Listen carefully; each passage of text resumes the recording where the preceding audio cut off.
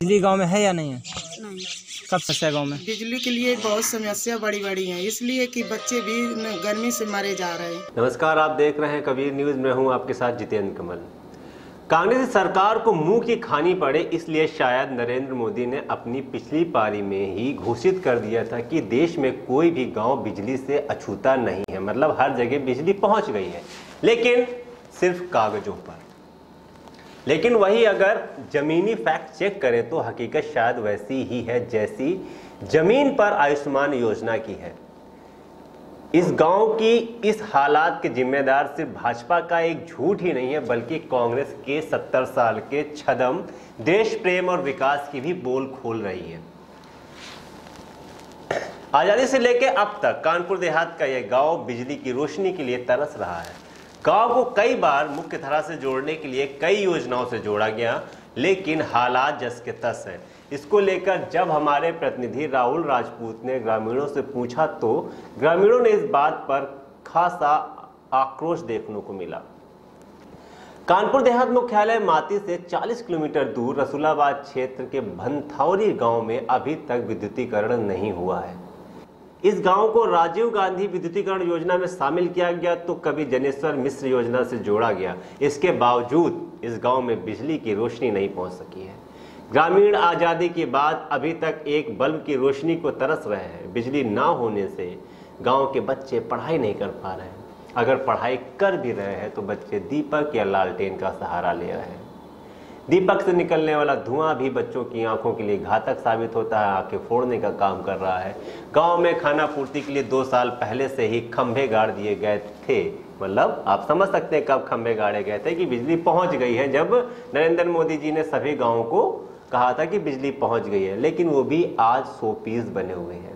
जबकि इस गाँव के पड़ोस के गाँव में बिजली बराबर दौड़ रही है। शायद उसी को काउंट कर लिया गया होगा। ग्रामीणों को माना जाए तो इस गाँव की बिजली कागजों में तो चल रही है, लेकिन हकीकत कुछ और है।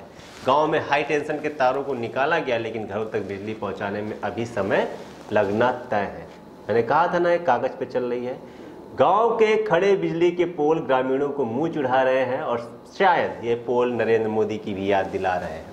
चुनाव नज़दीक आते ही बड़े बड़े नेता गाँव आकर क्या क्या वादे नहीं करते हैं और चले जाते हैं, जीतने के बाद वो वादे शायद उन्हें याद नहीं रहते हैं। ग्रामीणों से कई बार वादा किया गया, लेकिन अभी तक इसे हकीकत में नहीं बदला गया है।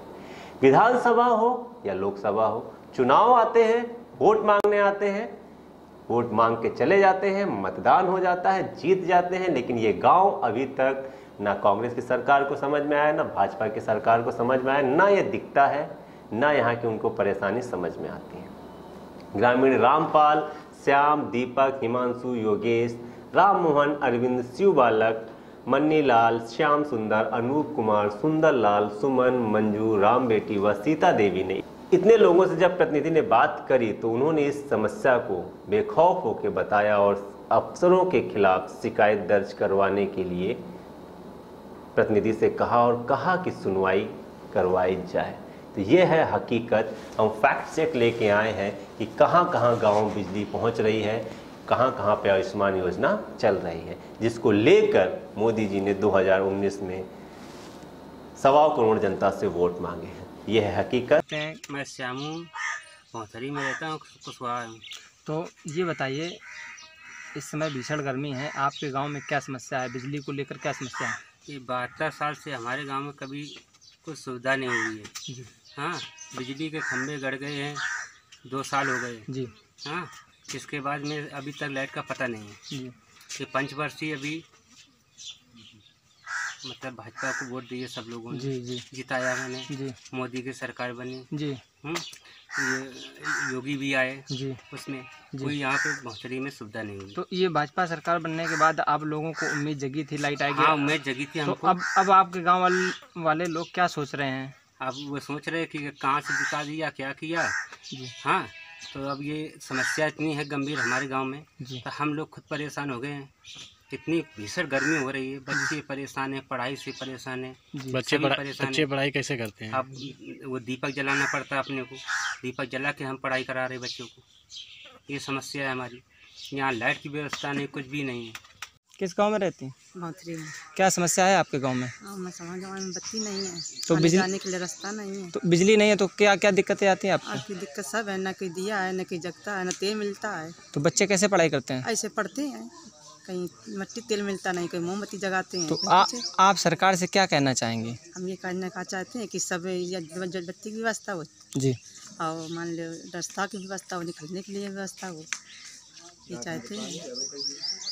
गली किस गाँव में रहते हो? हाँ तो इस समय भीषण गर्मी है और आपके गाँव में बिजली नहीं है तो कैसे आप पढ़ाई करते हैं? लालटेन तो बिजली गाँव में है या नहीं है? नहीं। कब से नहीं?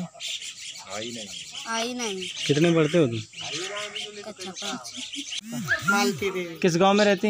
हैं में। बिजली को लेकर क्या समस्या है गाँव में? बिजली के लिए बहुत समस्या बड़ी बड़ी है इसलिए कि बच्चे भी गर्मी से मरे जा रहे हैं। जी। और हम लोग भी गर्मी से के बहुत मतलब व्याकुल हैं इसलिए कि कोई लाइट के लिए कोई व्यवस्था नहीं है ना कोई प्रधान सुनता है ना कोई मतलब वो सुनता है। तो यहाँ देहात है ये देहात में कोई बच्चे ना पढ़ पाते हैं ना लिख पाते हैं ना कोई बिजली की कोई समस्याएँ हैं ना कोई कार है कुछ यहाँ पे हम लोग इसलिए परेशान हैं।